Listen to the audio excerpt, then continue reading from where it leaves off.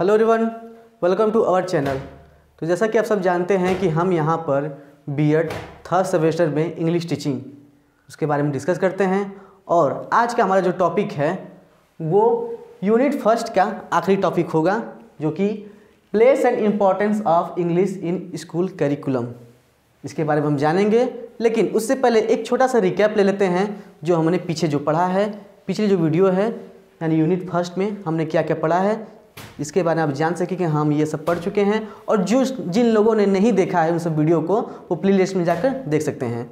पहले हम लोगों ने पढ़ा था historical development of English language, यानी कि इंग्लिश लैंग्वेज जो हमारे देश में कैसे कैसे उन्नति की कैसे कैसे प्रोग्रेस किया, उसके बारे में जाना। फिर एक्सपेक्ट ऑफ़ इंग्लिश लैंग्वेज, यानी कि इंग्लिश लैंग्वेज क्या क्या पक्ष था, उसके बारे में एक अच्छे यानी सिस्टमेटिक ढंग से जान डिस्कस किया था, जाना था और फिर उसके बाद इम्पोर्टेंस ऑफ़ इंग्लिश टीचिंग यानी इंग्लिश टीचिंग जो हम लोग पढ़ रहे हैं, जो हमारा सिलेबस में, जो हमारे पाठ्यक्रम में दिया गया है इंग्लिश टीचिंग कि इसका क्या इंपॉर्टेंस है, क्यों इसको हमारे स्कूल लेवल या फिर हमको पढ़ने के लिए दिया गया है, क्यों? क्या मतलब है? इंग्लिश तो हम पढ़ते आ रहे हैं, लेकिन इंग्लिश टीचिंग क्यों? ठीक, इसके बारे में हमने बहुत अच्छी तरीके से जाना था। फिर उसके बाद three language formula the most and the very important three language formula जो कि मोस्ट ऑफ़ लोगों के लिए हमेशा कन्फ्यूजिंग का सब्जेक्ट रहता है और कन्फ्यूजिंग वाला टॉपिक रहता है। कि थ्री लैंग्वेज फार्मूला को हम कैसे समझें? मदर लंग मदर टंग जो रहता है मदर टंग रहती है फॉरन लैंग्वेज जो रहता है, और थर्ड लैंग्वेज जो रहता है, वो कैसे? उसको बहुत ही अच्छी तरीके से हमने देखा है। नहीं देखे तो उसको देख सकते हैं। और उसके बाद हमने English language course at the school level यानी कि स्कूल लेवल पर इंग्लिश लैंग्वेज को कैसे कैसे रखा गया है और किस प्रकार से रखा गया है कि एक से पाँच के लिए कैसा होगा छः से आठ के लिए कैसा होगा और उसके बाद हायर उससे एबव कैसा होगा। ठीक है? तो ये सारी वीडियो एक साथ प्लेलिस्ट बना दी गई है। आप उसको जाकर देख सकते हैं। ठीक? तो चलिए बिना देर करते हुए आज के अपने topic place and importance of English and school curriculum यानी कि क्या जगह है स्कूल करिकुलम में? स्कूल करिकुलम में इम्पॉर्टेंस इंग्लिश का जो इम्पोर्टेंस है, जगह है वो कैसी है? क्या रखता है? देखिए, यहाँ पर मैंने एक फिगर टाइप बना दिया गया है। अगर आप ऐसे अपने बुक सॉरी अपने कॉपी में लिखेंगे, अपने आंसर कॉपी में लिखेंगे तो जो एग्जामिनर पर वो एक अच्छा इफ़ेक्ट डालेगा। बहुत सारे ऐसे लिखते, कितने पेज भरते हुए जाएँगे। देखिए अच्छा फ़ायदा एक और भी होगा कि ऐसे अगर फिगर बनाएँगे तो कॉपी भी जल्दी भरेगी और एग्जामर अच्छा भी करेगा। मतलब जो सारी चीज़ें आप लिखेंगे, उसका पूरा का पूरा एक ही जगह इंक्लूड कर सकते हैं। ठीक इसमें देखिए मैंने दिया था कि place of English language in school Indian school curriculum उसके अंतर्गत ऐसे देखिए ब्रांचेज बना दिया गया है कि रिटेंशन इसी को हम आगे पढ़ेंगे इसको हम और एलोबरेट करेंगे कि क्या क्या इन, इनके बीच में है जिसके आप अगर टॉपिक वाइज भी बनाना चाहेंगे तो उसके लिख सकते हैं। ठीक है ये लॉन्ग आंसर वाले में ज़रूर पूछेगा। Retention of English in the school curriculum ये हमारा पहला है।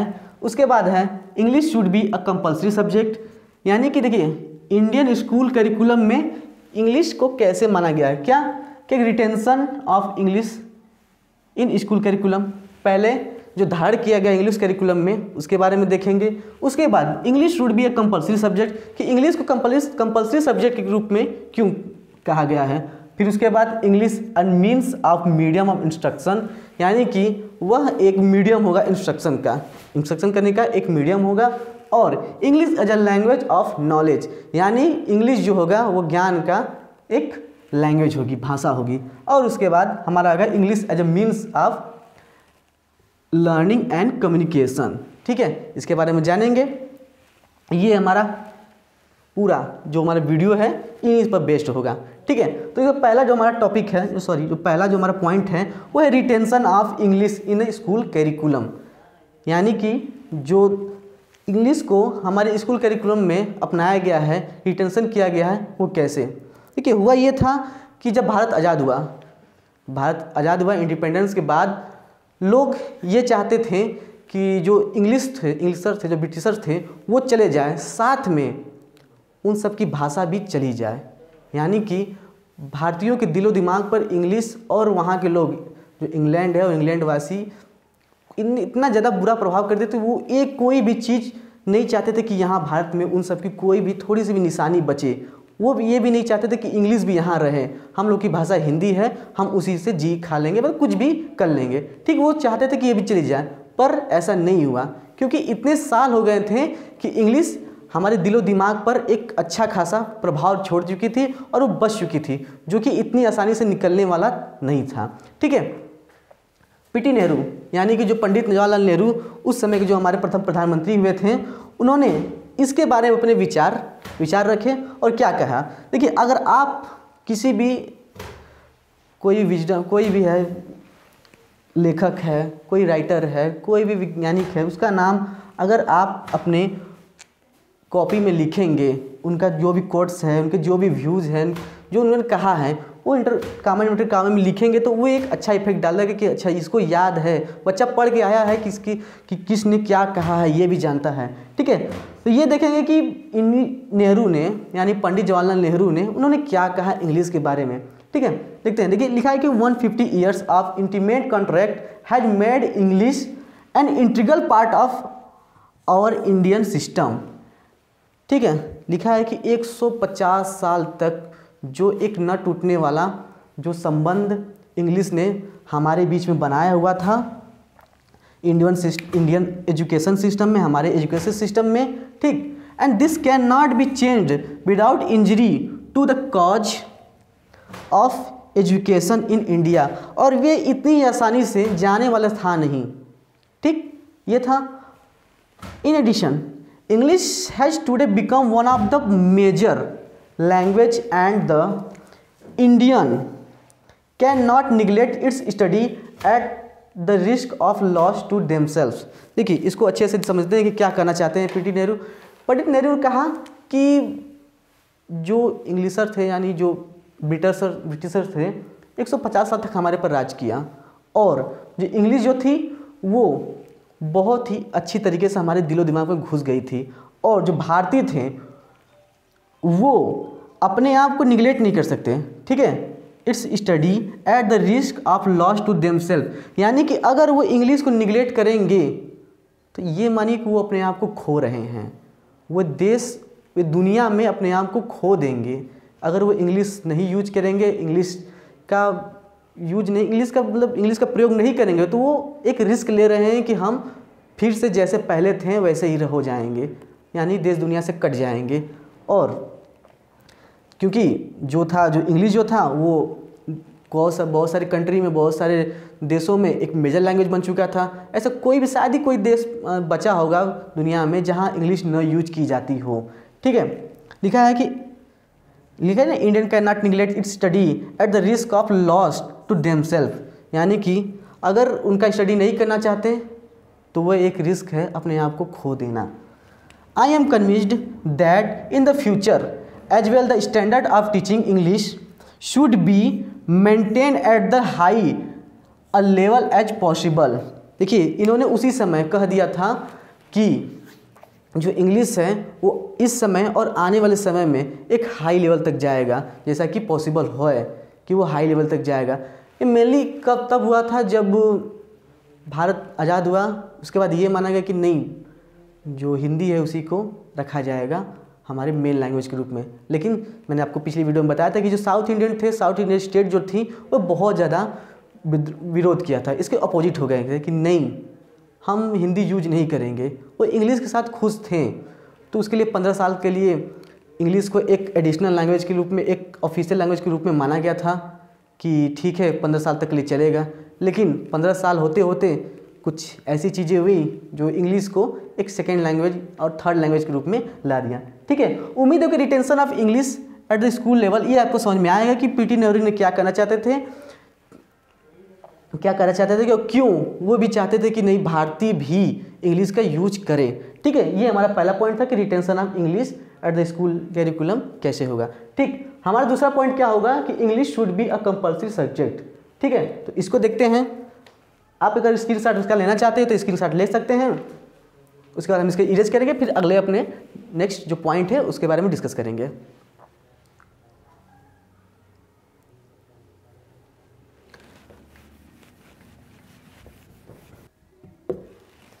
देखिए, अब हमारा अगला पॉइंट है English should be a compulsory subject जैसा कि मैंने बताया था कि इंग्लिश को क्यों इन्होंने कंपल्सरी सब्जेक्ट रूप में कहा?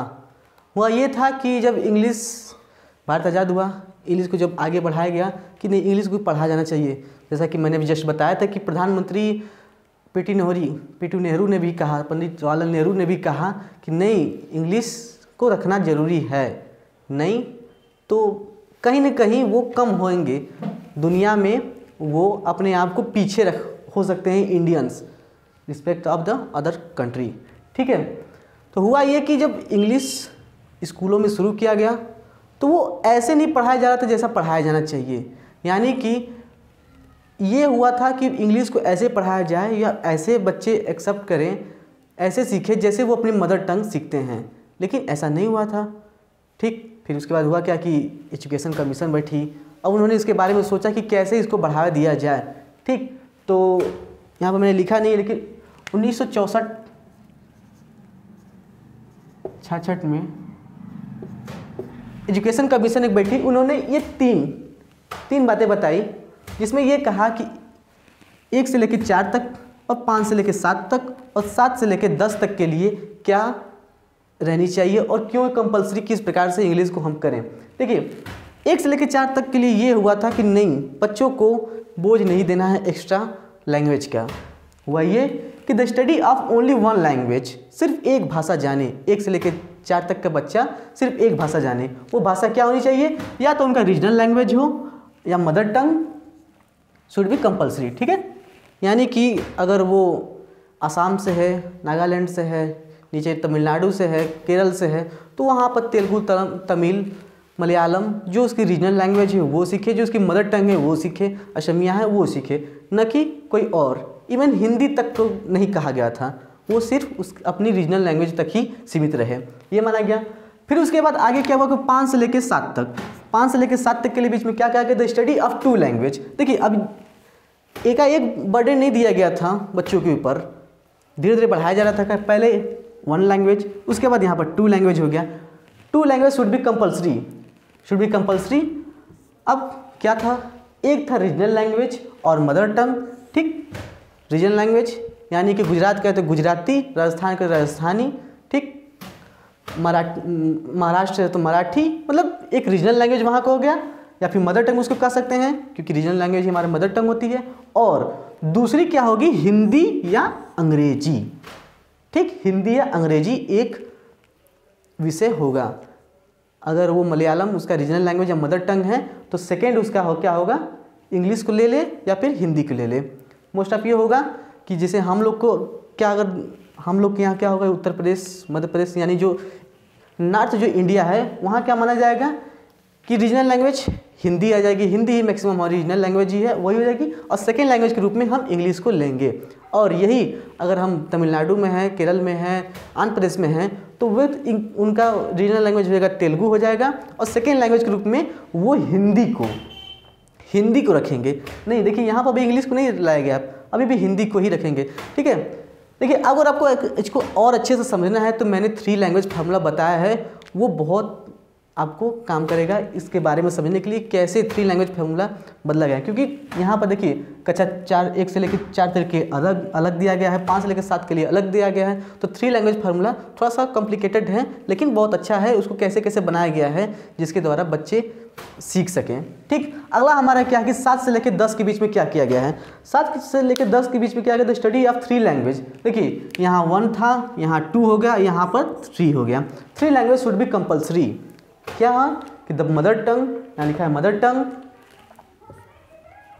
Hindi mother tongue हो गया। हिंदी या English for non Hindi speaking people and mother tongue English and any one regional language for Hindi speaking people देखिए, अब इसको समझने की कोशिश करिए। थोड़ा सा इस पर मैं थोड़ा सा टाइम लूँगा, क्योंकि यही जस्ट यही सब चीज़ें थ्री लैंग्वेज फार्मूला में भी अच्छे से बताया गया है। यहाँ पर थोड़ा सा बता देता हूँ। लिखा है कि इसको पहले पॉइंट के लिए, इससे पहले पॉइंट और उसके बाद इसको दूसरा पॉइंट की तरह से देखिए। मदर टंग हो गया। एक हो गया मदर टंग यानी कि रीजनल लैंग्वेज मदर टंग आप तेलुगु लेके चलिए। दूसरा हो गया हिंदी। हिंदी हो गया। हिंदी या अंग्रेज़ी आप उसको ले सकते हैं। और तीसरा क्या होगा? तीसरा ही इंग्लिश होगा। ठीक है for non Hindi speaking people ठीक है, यानी कि जहाँ पर हिंदी नहीं बोली जाती, उनके लिए ये होगा। पहला मलयालम हो गया, दूसरा हिंदी हो गया, तीसरा इंग्लिश हो गया। देखिए, ये हो गया एक दो तीन, यानी तीन, आगे थ्री लैंग्वेज फार्मूला अब दूसरा क्या था हमारा? मदर टंग हो जाएगा हिंदी हो जाएगा। ये देखिए फॉर हिंदी स्पीकिंग यानी कि उत्तर प्रदेश, बिहार मध्य प्रदेश, इन लोगों के लिए क्या क्या है कि पहला मदर टंग हो गया हिंदी हो गया इंग्लिश हो जाएगा सेकेंड और एक कोई रीजनल लैंग्वेज कोई बिहारी भी आप उसको रख सकते हैं। ठीक? तो ये हमारे इंडिया इंग्लिश वुड भी कंपलसरी सब्जेक्ट यानी कि जो इंडियन कैरिकुलम स्कूल कैरिकुलम में जो इंग्लिश को कंपलसरी सब्जेक्ट रूप में रखा गया है, वो इस प्रकार से रखा गया है। उम्मीद है आपको ये वाली पॉइंट अच्छी समझ में आएगी। अगर इस, आप इसको समझ गए तो आप इसके बेस पर जो आने वाले प्रश्न है उसको भी कर लेंगे। बस कोई भी एक चीज़ पकड़ लीजिए उसके बाद आप तो खुद बुद्धिमान हैं आप अच्छे से कर सकते हैं। ठीक है? अगला हमारा पॉइंट था कि English as a means of medium instruction इसको आप मैंने पिछले वाले वीडियो बताया था क्या कि इंस्ट्रक्शन इंस्ट्रक्शन का एक माध्यम हो चुका है। यानी कि अगर आप पढ़ रहे हैं आप हायर एजुकेशन में हैं तो ये मोस्ट ऑफ़ चांसेस है कि आपको इंग्लिश टू इंग्लिश बातें करनी चाहिए, या फिर आप एक बिज़नेस मैन हैं तो आप दूसरे से इंटरेक्स कर इंटरेक्शन करने के लिए कम्युनिकेट करने के लिए इंग्लिश को एक मीडियम के रूप में यूज़ करना पड़ेगा। इसलिए इंग्लिश का इतना ज़्यादा इम्पोर्टेंस और महत्व बढ़ गया है। ठीक है, अब हम आगे जो हमारा जो और दो टॉपिक बचा है, उसके बारे में भी देख लेते हैं। ठीक है स्क्रीन शॉट लेना तो स्क्रीन ले सकते हैं, ताकि आपको एक परीक्षा में जाने से पहले आप देख भी लेंगे कि अच्छा ये था, उसके बाद आप जाकर वहाँ पर लिख सकते हैं। उम्मीद है स्क्रीन हो गई होगी। ठीक है? अब हमारा जो पॉइंट है अगले सेगमेंट का, ठीक है? English as a language of knowledge यानी कि इंग्लिश मैंने बताया था कि place of English language in India curriculum में जो माना गया इंग्लिश को, ठीक अब इसमें एक, ये कहा है कि इंग्लिश, ये एक ज्ञान की भाषा है। ज्ञान की भाषा कैसे है? देखिए, हुआ ये था कि धीरे धीरे बढ़ने शुरू हो गई थी और कोठारी कमीशन ने इंग्लिश को तो कंपलसरी कर दिया था। यानी कि हायर एजुकेशन में या फिर मैकेनिकल में मेडिकल में साइंस में इवन इवन हर जगह इंग्लिश को कर दिया गया है। और इंग्लिश को ज्ञान की भाषा क्यों कहा गया? क्योंकि जितने भी एथेंटिक बुक हैं आज आज अब भी देखोगे कि जितने भी एथेंटिक बुक आती हैं जो बड़े बड़े लेखों की आ, आती है बुक्स आती हैं जो हैं वो इंग्लिश में ही रहती है। उसका भले ही उसके बाद में अनुवाद किया जाता है लेकिन जो शब्द इंग्लिश में वो जो विचार जो इंग्लिश में ही लेखक लिखे रहते हैं वो तो इंग्लिश में ही रहता है। और मोस्ट ऑफ़ रहता है ये चांस कि जो इंग्लिश जो नॉलेज वाली जो बढ़िया बड़ी बुक एथेंटिक बुक होती है वो इंग्लिश में ही रहती है। और हायर एजुकेशन में तो सभी के सभी तो इसलिए इंग्लिश को एक नॉलेज की भाषा मानी गई कि भाई, अगर इंग्लिश आप जानोगे तब आपको ज्ञान मिलेगा। ठीक है? भले ही ये थोड़ा सा अजीब है, सुनने में लग रहा है, पर ऐसा है आप क्या ही कर सकते हैं। ठीक है? तो ये हमारा पहला अगला टॉपिक हो गया था। हमारा दूसरा पॉइंट जो था कि English as a means of learning and communication ठीक है? इंग्लिश जो हमारा कम्युनिकेशन की भी एक माध्यम है और लर्निंग यानी सीखने के भी माध्यम है। एक, ये है फ्रांसिस एफ़ जी फ्रेंच इन्होंने इंग्लिश के बारे में एक बहुत ही अच्छी बात कही है। आप इसको अगर अपने बुक कॉपी में लिखेंगे तो अच्छा रहेगा। आप इसको याद कर लीजिए, देखिए क्या इन्होंने कहा था कि इंग्लिश जो है कम्युनिकेशन की भाषा किस प्रकार से है। कम्युनिकेशन की भाषा मैंने आपको बताया, बहुत अच्छी तरीके से बताया था कि कम्युनिकेशन के रूप में इंग्लिश को कैसे कैसे यूज़ किया गया है और कैसे यूज़ किया जाता है। ठीक है? पिछले वीडियो में मैंने बहुत अच्छी तरीके से बताया है। तो सिर्फ़ हम यहाँ पर ज़्यादा नहीं जोड़ देंगे क्योंकि वीडियो थोड़ा सा लेंदी हो जाएगी। एफ़ जी फ्रेंच ने कहा कि नो लैंग्वेज एंशियंट और मॉडर्न यानी कोई भी भाषा, भले ही वो पुरानी हो या फिर आधुनिक भाषा हो, कोई भी can not be compared with English in the number of geographical distribution of the homes, the factories and offices in which the language is spoken, written and read. ठीक? समझ में आया? देखिए इन्होंने कहा था कि कोई भी ऐसी भाषा नहीं है चाहे प्राचीन की कोई भाषा हो चाहे इस समय की कोई भाषा हो जो इंग्लिश से कंपेयर की जा सकती है। किस तुलना में? जियोग्राफिकल डिस्ट्रीब्यूशन यानी एक भौगोलिक तुलना में कितने घरों में बोली जाती है कितने फैक्ट्रियों में बोली जाती हैं और कितने ऑफिसों ऑफिसों में बोली लिखी और पढ़ी जाती है। कोई भी भाषा ऐसी नहीं है जो इतनी ज़्यादा नंबर्स इतनी ज़्यादा नंबर्स में ये लिखी जाती है या बोली जाती है। It is flexible it is flexible vehicle of thoughts ठीक है?